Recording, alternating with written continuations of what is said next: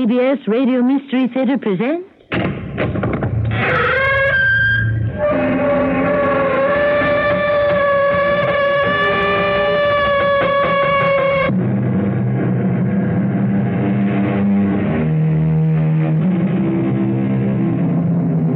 Come in. Welcome. I'm Tammy Grimes. Some mysterious happenings cannot be explained. Some need no explanation. Some are so incredible that even were I to find the reasons, the causes, the whys, the wherefores, it would still escape all understanding. Such a tale the Mystery Theater presents to you today. It is called The Smile. Whenever I see it, I feel as if it's draining my life away. You saw it today, Bill? This thing you call the smile? I see it every day. I see it now. I want to see it too. Turn around. It's behind you. It's right outside the lighthouse window. Great Lord. You're right, it's there. Did you think I was making it up? Well, I, I didn't know what to think. It does look like a gigantic smile in the sky. And it's killing me.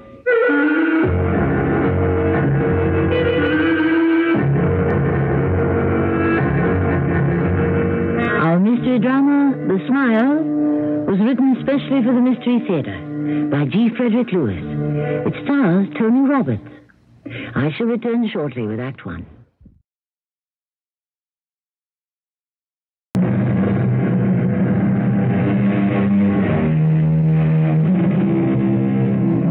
Ring at the doorbell. A woman puts down her violin and opens the door. A telegram is delivered. The woman's slender fingers slit open the yellow envelope. She glances quickly at the name of the person who sent it to her. It's the name of a man she hasn't seen in ten years. A man she has been separated from. Her husband. She closes the door and returns inside, reading the telegram aloud. My dear Grace, I'm sure you're surprised to hear from me after all this time. I wonder if you are still teaching the violin. I imagine you have not remarried, nor have I. If we couldn't make it together, I don't think we could with anyone else. The woman puts down the telegram as if she can't bear to read further. Tucks her violin under her chin and plays. And then. No. She has to read the rest of the telegram, whether she wants to or not. So we separated because we could no longer live together or needed one another. But Grace, now I do need you. I need your help. I'm not working at all. No writing, nothing. I'm staying with Uncle Wilbur at his place on Chesapeake Bay. Remember, Wilbur, can you come and see me as soon as possible? Grace, I believe I am dying, and only you can save me. Yes, I remembered Uncle Wilbur. Who could forget that crotchety, opinionated old salt, used to having his own way? The same instant obedience he demanded when he was captain of his own ship. I stood on the deck as we crossed the Chesapeake Bay to Wilbur's place. Now a retired sea captain, he tended a lighthouse which kept him near the water and out of trouble. I could see the two of them standing at the point. At least I could make out two figures as the mail and supply cutter brought me closer and closer to an adventure I never thought I'd live through.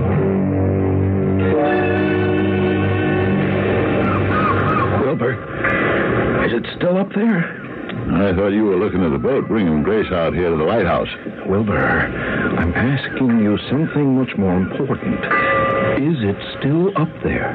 Do you see it up in the sky? Yes, Bill, I can see it.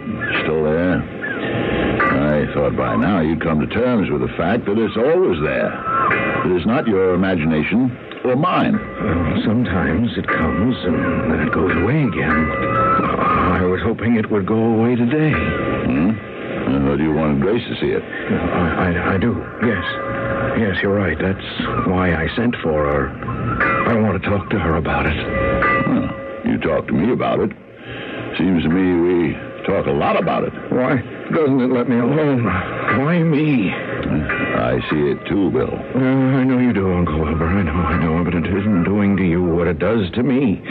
To you, it might be just another strange shaped cloud in the sky. It doesn't affect you the way it affects me. Well, that's true. Well, let's get down to the dock. I think the boat Grace is on is about to pull in. It's killing me, Wilbur. It's draining the life out of me. Whenever it appears, wherever we are, I feel weaker. Yeah, I know, Bill, I know. Uh, we'll just have a long talk about it with Grace. Let's go down now and help him tie up the cutter. Course, at the time, I didn't say one word. But I can tell you now I was shocked. As I stepped ashore at Lighthouse Point, I was so shaken to see how much Bill had changed, I could hardly speak. He was no longer a young man of 40. His hair had turned snow white. He looked 70. He took my suitcase and the cutter cast off. And an hour later, I was alone with Bill, sitting in the lighthouse kitchen, just the two of us, having sandwiches and coffee. Oh, Grace, you look marvelous.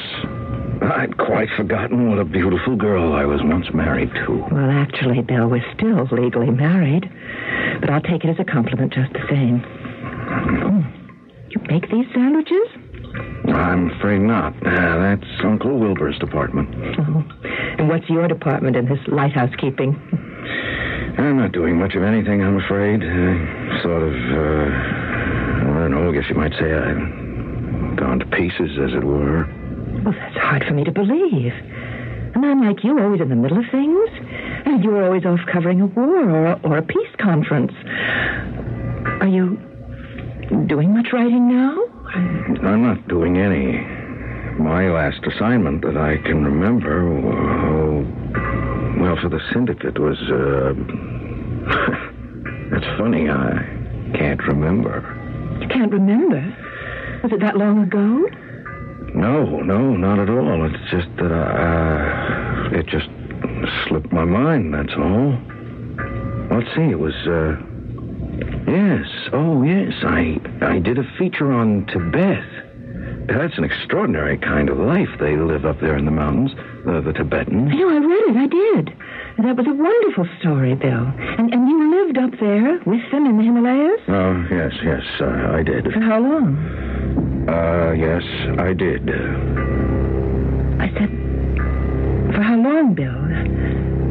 How long did you live in Tibet? What? Bill? Are you listening to what I'm saying? You keep looking out the window. Is there something out there? No, no, not there. Not yet, Grace. What do you mean, not yet? I asked you how long you spent gathering that material in Tibet. Time passed as it never passed before. I I can't say how long, Grace. And that was the last piece of writing you've done? Yes, that was it. But that was over a year ago. What have you been doing since? I guess you could say I've been running. Running? Running away? No. No. Running for my life. Bill, are you being serious? Why do you think I asked you up here to the lighthouse? I've never been more serious in my life. Listen to me. We were married for ten years, and some of them were good years, and then we separated. In fact, we've lived apart as many years as we've been married. Now tell me, what is it you're running from? You won't laugh when I tell you. It's the smile. At least, that's what I call it. That's what it looks like. All right. I'll go along with that. This this smile that you've been running away from. What does it look like? Well, I can't quite describe it because so much feeling goes with what I see. Uh, when I see it, Grace, believe me, it is actually as if I am looking into a giant face that is smiling. Only I can't see the rest of the face. I can't see the eyes or the nose. All I see is the smile. And when did you first see it? I'm not sure exactly when. As I said, I was in a place where time expands and contracts in an unusual way. You said you were in Tibet. Yes. So I can't tell you when, but I know exactly where. I had just left the monastery, the one on the highest peak in the Himalayas, a place that is always in the clouds. The sun, the moon, the day, the night has never appeared there. Only the intensity of the light varies. The people go around like people under glass, like people moving in milk. I think that's why they always wear such bright clothing. You were telling me when you first saw the smile. I had had an interview with the high priest, and I walked out the door of a stone chapel up a little rise. And I looked up. And suddenly the clouds seemed to separate, and I could see blue sky, which I'd not seen in literally months. And up there in that sky was this. This faceless face looking down on me. And from that moment until this, unless I close my eyes to shut it out, day or night, I always see it. You mean you see it now? Yes. Have you talked to anyone about this? You mean other than Uncle Wilbur? He sees it too. Oh, certainly. He sees it too, just as I do. I brought it here. I brought it with me. Where I am, there it is. Have you talked to anyone else about it? A, a doctor, a psychiatrist? It's not in my imagination, Grace. I, I'm not saying it was. I'm just wondering if you had discussed it with anyone, Bill. I'm not out of my head. It's not a ghost. It's there. But it's what the smile is doing to me that frightens me so terribly. Well, I should think so. You still think it's something I'm haunted with. It's more than that. It's killing me, Grace. That's why I need you. I need someone I can trust, someone who once loved me, who will believe what I say when I say it's killing me. I, I try to look away, Grace. It draws me to it. It's draining my life from me. Have you seen it today? I see it every day. I mean, I know it's there. Could you see it right now? Matter of fact, I do. Right outside the window behind you. Bill, I'm going to turn around. I want to see it too. Go ahead. It's clearly visible. It's up there. I'd say about a thousand feet overhead. Ah. Great Lord in heaven. You're right. Did you think I was making it up? I, I, well, I, I didn't know what to think. It does look like a smile, but it's strange. It's like a shadow without substance behind it. It doesn't affect you? You're sure? No, no, not at all. Is it always in the same spot? No, it never is. What do you mean, does it affect me? It doesn't make you feel any differently after you've looked at it for a moment? Any weaker? No, not at all. It doesn't harm Uncle Wilbur either. Only me. Where is Wilbur? Oh, I expect he's outside somewhere. This isn't much of an island. You can walk around it in no time at all. It's only here for the lighthouse, so uh, he won't have gone far.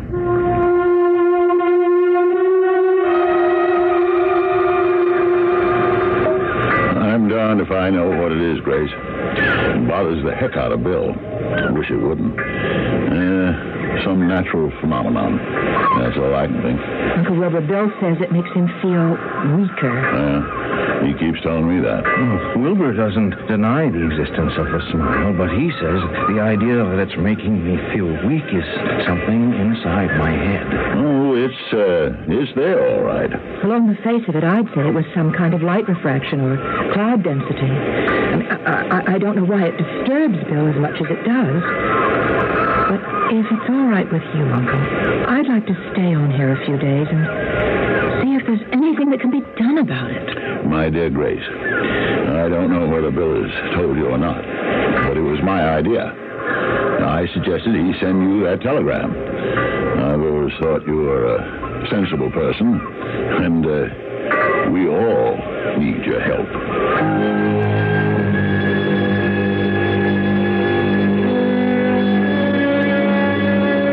I'm sure there are those listening who already have made up their minds how this can be happening.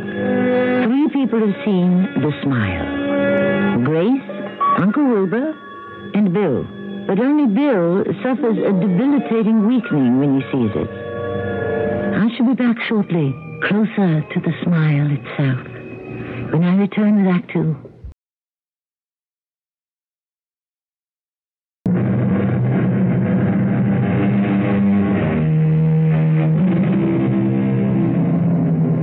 Grace Fenchurch, a music teacher, has been separated from her husband Bill for ten years. He is a writer, or was, until an assignment took him to Tibet. An assignment from which he apparently never recovered. It affected his mind, aged him, turned his hair white, and ever since he has been haunted by a shape that clouds his days. Something that appears near him that he calls the smile.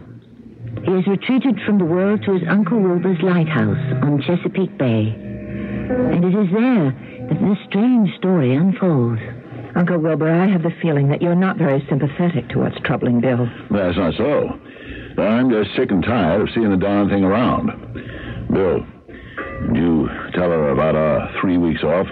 No, I haven't. Grace, I'll tell you. You know, they give us lighthouse keepers 30 days off a year, and someone else is rotated to your spot. So with this smile thing, uh, Bill and I thought, okay, uh, we'll give it a run for its money. See if it really followed him all the way from Tibet. See if it's really dogging his steps. Well, we took one week up in the mountains, uh, cabin of a friend of mine. We went on hikes, went fishing, and uh, sure enough, we hadn't been there but three days. It found us The smile. practically spread across the roof of our cabin. Mm, and then we took a week at the shore. It found us there, but where it really hurt, where I realized it was out to kill me. Now, uh, now, just wait a minute, Bill. Uncle, let him tell it. Where, where it really got to move was the week we spent in the city. Uh, We, we saw some shows, visited with some friends of Wilbur's old Navy days. Buddies I hadn't seen in years. I began to loosen up. Uh, it was great for me. I started getting ideas for stories and articles. Yeah, Bill thought this apparition had finally left him. Well, on the next to last night, we stopped off at a bar on the way back to the hotel. It was the darndest place. The bar had no ceiling. Yeah. The walls they went straight up into the sky. You know that glow that hangs over a city at night? Uh, there was that. And right there over my head, grinning down at me, there it was. The smile. I had a hard time getting him back to the hotel, but I did. People thought he'd had just one too many. So even when the both of you got away from the bay and the lighthouse, it wouldn't let you be. No, it's never left me since. I, I try not looking at it. Sometimes I make believe it's not there, and, and I feel free. But when it leaves those rocks, uh, uh, where I think it lives way offshore, and starts coming this way, I know it's lying in wait for me, and it won't stop smiling until I'm dead. Bill, you said something a moment ago about it comes from the rocks. Uh, I'd say for the past two months, that's where it seems to come from. And could you find it? At five or six in the morning, just about daybreak, it leaves the rocks that are just at the edge of the horizon. Can you show me from where we're standing? Oh, you see those rocks that uh, jut out just where the sun's going down? Yes. From there, no larger than a small black curve on the water. Seems to lie there on those rocks, and then as the sun comes up, it starts towards me. Yeah. We went fishing one morning real early. Came chasing after our boat like some giant kite. Chased us. Good. And we'll chase after it. Hmm? What? Tomorrow morning, while it's still dark, we'll take ourselves across the bay, right out there to where you say this smile of yours starts from. Oh, Uncle, you've got a boat, haven't you? Mm, Sure have. Great little sailboat. Use it all the time. Well, that's fine. Then tomorrow morning, Agreed. Why not? I'm game. See that mackerel sky? That means good sailing weather tomorrow. Uh, we'll take ourselves smile hunting.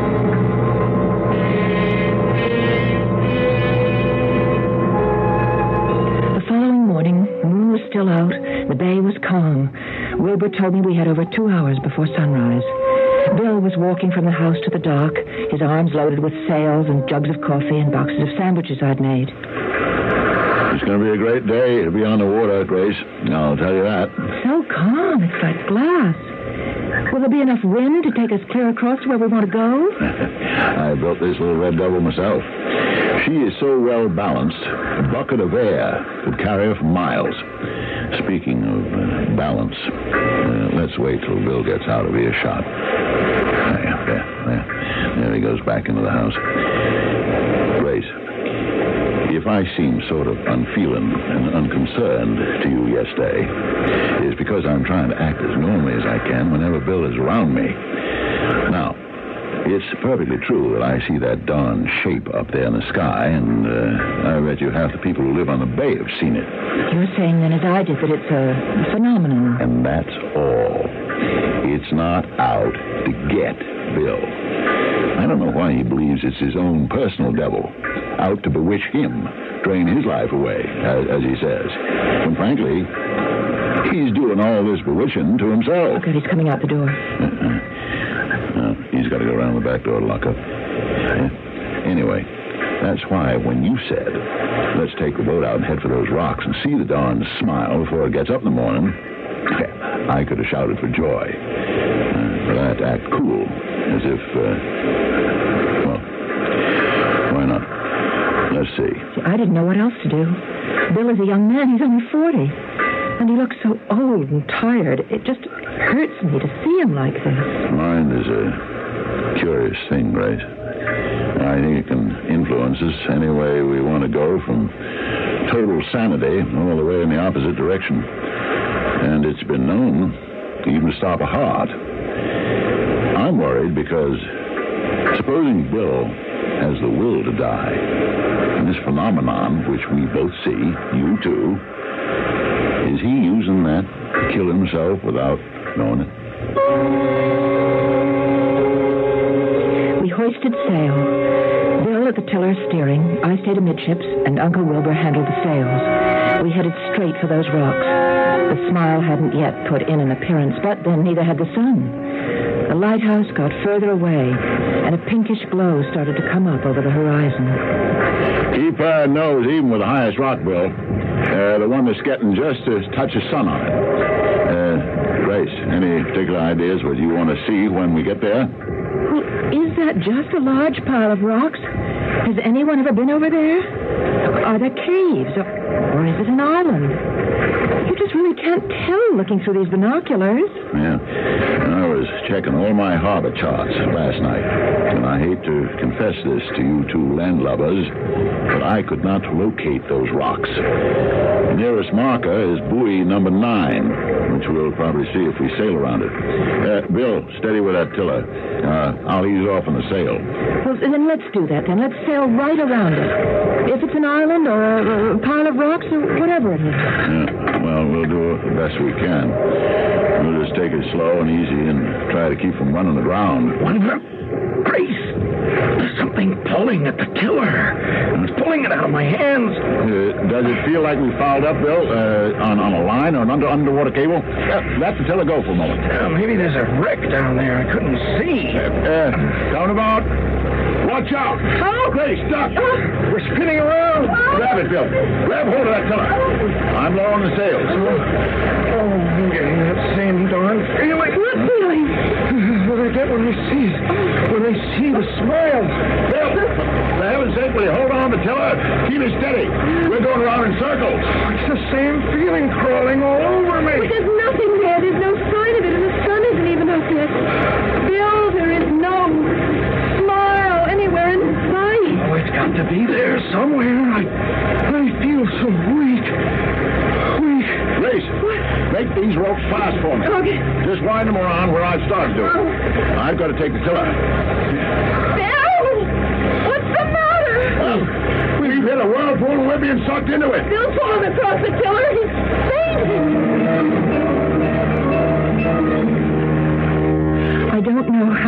Took Uncle Gober to get control of our boat, to free it from the vortex that was whirling it around. But as soon as we were clear of that, he and I managed to pull Bill amidships. And Gober gave the orders of what I was to do with the sails, and I just did what he said. And gradually, we drifted to a shallows where the water was still. Yeah. Trouble is, we're not moving. Wind's died down. I've dropped the anchor so we won't drift too far. Uh, how's our boy, Grace? I just keep wetting my handkerchief and putting it on his forehead. How's he breathing? He's taking these very deep breaths as if he's in a strange kind of sleep. His eyes are tight shut. Yeah. Grace, somehow we've got to get this boat moving and get down along the coast as fast as we can to a hospital. There's no wind. Well, if we can't use the sails, we'll use our arms. Stowed on the floorboards are two pairs of oars. Uh, you help yourself to one and put them in the oarlocks. Uh, you know how to row, don't you? Of course I do. Uh, good. I'll take this pair and do the same. We'll start due east. Uh, take your pace from me. We're going to head for that buoy. Can you see it? That's due east. About 200 yards across the bow. The black buoy with the red number nine painted on it. From there, we'll change direction southward. Wilbur, look. Look over there. There's a small red sailboat just like ours with two people rowing, and their sails are down just like ours. Huh. That's a coincidence. But look at the man and the woman. Look at them. The man looks exactly like you. And the woman, she could be me. It's a fascinating concept that somewhere in this world there exist duplicates of ourselves. Taking this one step further, which one of the identical two pays for the other's sins or crimes, Or reaps the rewards? Those rowing in an identical red sailboat? Is there an identical man lying in a dead faint in the bottom of the other boat as well? And what does this have to do with that peculiar marking in the sky? The smile that has been the nemesis of the man they hope to get to the hospital. I shall return shortly with Act Three.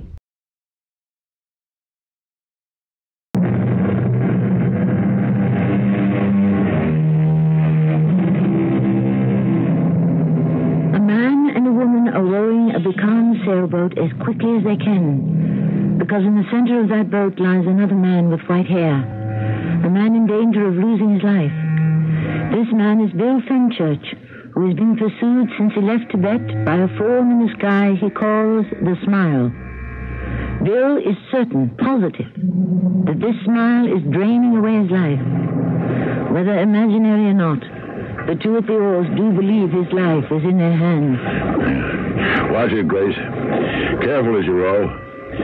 Not only because something might hit us below the waterline, but in this half morning light, distances are deceiving. Yes, what about that red boat being rowed by people who look just like us? Yeah, possibly. Possibly. Yeah. Just like the desert, maybe. A mirage. Grace?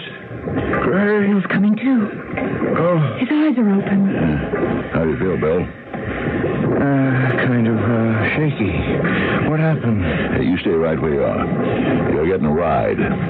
The wind died down, so Grace and I are using a little oar power. Oh, what dumb thing did I do? Oh, oh, I wouldn't call it dumb. Uh, just got caught up in a whirlpool back there, and uh, you lost control of the tiller. I'm not sure whether it came around and hit you and knocked you out, or if you fainted for some other reason.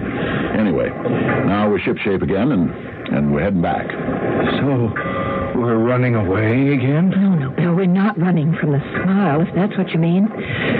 The sun came up about an hour ago, and we didn't see it. The smile never showed up. Hey, say, Grace, I feel a wind coming up. Uh, ship your oars and head for the tiller. All right. I'll run up some sail, and you keep her steady on buoy number nine. So, you guys didn't see it, and we're not running from it. Oh, I can't last much longer. Why do you lie to me? It's taking me with it. Look up into the sky, will you, and admit it's there. Admit it. We're lost. The smile was there, spreading the edges of its evil mouth over the top of our red mask like a two-sided pennant. I had never seen it that closely. It seemed to be talking, wordless movements coming out of its opening and closing mouth. Wind shipped us along. I kept my eye on the marker buoy. I knew we had to get Bill to the hospital, that his life was in danger. Hey, you there! Red sailboat! Watch out where you're heading! Wilbur, it's the same red sailboat we saw before. Can't you see us?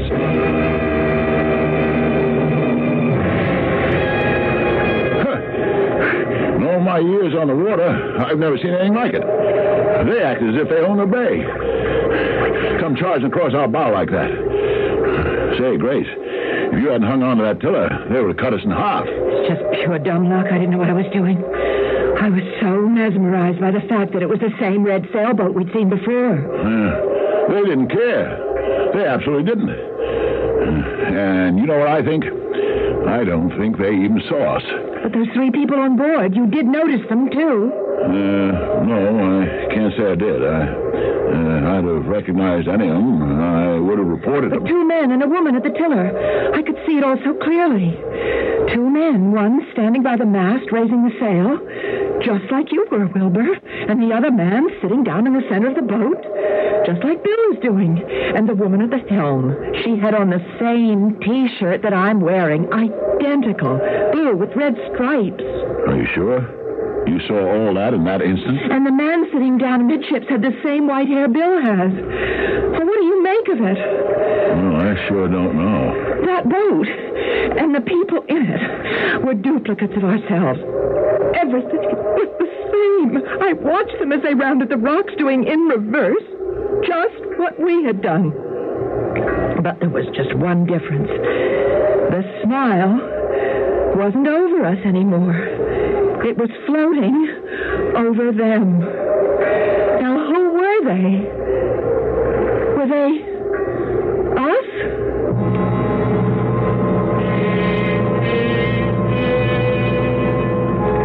I don't know how long it took. It seemed hours. But we made it down the coast, pulled into a town dock, and Uncle Wilbur and I, somehow between us, got Bill to the hospital. Waited. They'd taken him immediately to intensive care. And finally, a doctor came out and took us into an office. Which one of you is related to William Fenchurch? I am, Doctor. I'm Grace Fenchurch. Is he all right? Are you his wife or his sister? Well, actually, I'm his ex-wife. Uh, not even that. We separated ten years ago. We we each went our own way, but we're still legally married. Then it's to you, Mrs. Fenchurch, that I must offer my condolences. Oh no! Oh no! There was nothing we could do, believe me. The entire emergency staff did everything humanly possible. I'm still trying to piece together what could have caused Mr. Fenchurch's death. But but oh, tell me, how did it happen? He was barely alive when you brought him in, and, well, his heart simply gave out. There was no way of reviving him. How old a man was he? Bill is was just forty. Did you say 40? You mean he was only 40 years old? Yes, forty. Responded like a man who'd undergone shock or some complete trauma. I'm sorry, Mrs. Fenchurch. There's no point in your remaining here now. If you and Mr. Wilbur would care to return tomorrow, we should have much more information. I remembered was it was morning. I couldn't quite absorb what had happened. I got out of bed. It was not my own bed. I went to the cabinet where I keep my music and my violin. It wasn't there. And then suddenly I remembered, of course, I, I, I wasn't home. I had received a telegram from Bill, whom I hadn't talked to in ten years. Please come to Uncle Wilbur's lighthouse, it said. I think I'm dying, Bill had written. And then it all became clear. Grace, you up? Yes, Uncle Wilbur, I'm up. I'm just dressing. I'll be right down. Of course. It was early in the morning, and the three of us were going to take the red sailboat and go out to some offshore rocks to find something. What was it we were after? I got dressed, and I came down to the lighthouse kitchen. It was still dark outside. Wilbur had made coffee. Oh, Grace. I was just about to go up to your room and knock on your door. Don't you remember? We wanted to get an early start to sail out to the rocks. Bill overslept, too. Had to wake him up. He's getting dressed now. Wilbur, you are going to think that I've taken leave of my senses, but I. I simply cannot remember why we planned this excursion. You're joking. It was uh, your idea. It was. The smile. Uh, now, do you remember? The, the smile that's been haunting Bill ever since he came back from Tibet. Oh, of course. Oh, oh, please forgive me. I, I, I knew it was something. Now, Uncle Wilbur, do you believe in second sight, a precognition, Uh, Precognition. having seen something in advance to its happening? I, I, I- I don't want to go out on the boat this morning, and I don't want you to, or Bill. I think that we should all stay here. Well, talk about a woman changing her mind. Uh, would you mind telling me why, Grace? Yes. I either know of something that will happen to the three of us, or I've dreamed something that I don't want to happen. We sat there, I recalled every incident as it would be happening. From our conversation on the dock as we loaded the boat, to Bill manning the tiller, to arriving at the rocks, getting caught in the whirlpool, then Bill fainting, the wind dying on us, and our starting to row, and being almost cut in two by an exact duplicate of our red sailboat in which we were traveling. Three people, exactly like ourselves. And then finally ending up at the hospital. Too late to save Bill's life. Hmm. I don't know what to say about all this. It certainly was an extremely vivid nightmare. So you, for one, you don't believe it'll happen? Of course not. Uh, we are going to track down the smile as agreed to yesterday. You had a vivid dream, Grace. And that's all it was. Well, it's hard for me to believe it was only a dream. I wish I could have convinced you. Good morning, Grace. Good morning, everybody. It's going to be a beautiful day. Oh, thank the Lord you're alive, Bill. You know, I said exactly the same thing to myself when I got up this morning. By the way, I've been standing on the stairs for a few minutes, and I want you to know I heard everything you were telling Wilbur. I'm glad you did, Bill. I thought it very entertaining. Didn't you? the way Grace told it, one could almost believe it. You can believe it, Wilbur, because I had the same dream. If it was a dream. What? I want to show you both something. Now, Wilbur, to your knowledge, I haven't been out in the skiff since we painted it, have I? You mean since we painted red? No. No, we haven't. I'm not sure it's completely dry this morning, but we'll see. Uh, when you called me and woke me up this morning, there was red paint on my sheets. I, I looked at my hands. I'm turning them over now so you can both see my palms. Look, it's red paint. See where I must have been holding the tiller. I don't understand this at all. Wilbur, I'll have that cup of coffee, too. Right. That red paint in your hands could have only gotten there if.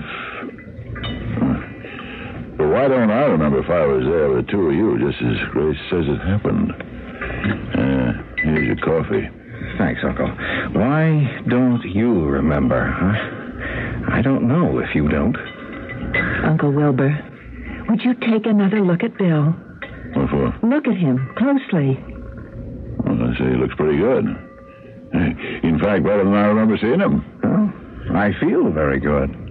Strong. Raring to go. Bill, you look a thousand years younger than when I got here. Say, what are you doing here anyway, Grace? I, not that I'm not all for it. It's a nice surprise. You don't remember inviting me here to Uncle's lighthouse? Yes, I do, sort of. Um, or do I? Bill, this dream, or whatever it is that we lived through, you and I, very close to the end of it, an identical little red sailboat crossed ours and took with it what you used to say had been haunting you. oh, yes, yes. The uh, smile in the sky. I wonder why that upset me so much then. And in that other duplicate red boat were three people duplicates of me and of Wilbur and of you. The old you. The old Bill who was sick and who needed me was in that other red sailboat which disappeared and which we never saw again. And why it existed, I, I don't understand. But what I do know is that you are here and very much alive, and your eyes are sparkling, and you look very distinguished. A young man with white hair. Thank you. Thank you. In fact, I'd say you are the Bill Fenchurch I remember when you and I were first married. Uh, uh, yeah, he does. Looks like a man with a new lease on life. Well, I feel that way. I sort of feel like uh, life is something to smile about. I think it's pretty safe to say that what we have just heard is not an identical dream as dreamt by two people. I'd say that it did happen. And somehow everyone concerned was given a second chance. And as for that mysterious, fateful entity that appeared as a smile, that sort of worries me. Before ringing down the mystery theater curtain, I'd like to say just this. That if somewhere in the world there is such a cloud casting its shadow as the smile, that it's smiling at someone else, not you or me. I shall return shortly.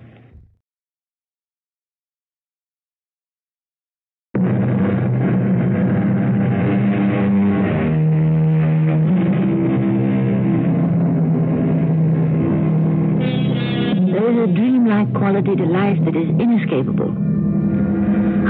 Have you come to a point in your life when you suddenly realize that too many of your important years are over, but you have lived them? It's like being faced with the last few pages of a book sooner than you expected. And you wonder what happened to the pages in the middle that you might have missed.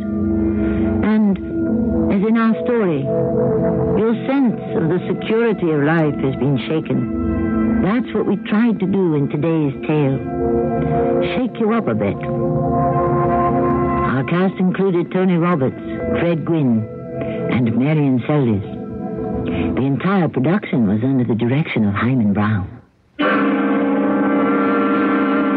And now a preview of our next tale. Yes, you're, you're right. Afraid describes it very well. Tell me. Can't. Maybe I can help. No one can help it. It has to be my secret. Forever? It's something in your past? That I can tell you. It is something long past. Oh, I see. Now, wait a minute. I don't think I like the sound of that. It's another woman, isn't it? What? Oh, Pauline. Someone you loved a long time ago? Ridiculous. I'm not jealous, Richard. You are jealous. And I love you for it. Very flattering. But you have nothing to worry about on that score. Then why can't you tell me? Because it's something that may change my entire life, perhaps destroy it.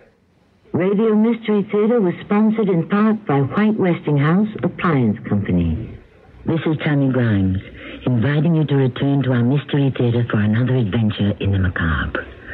Until next time, pleasant dreams.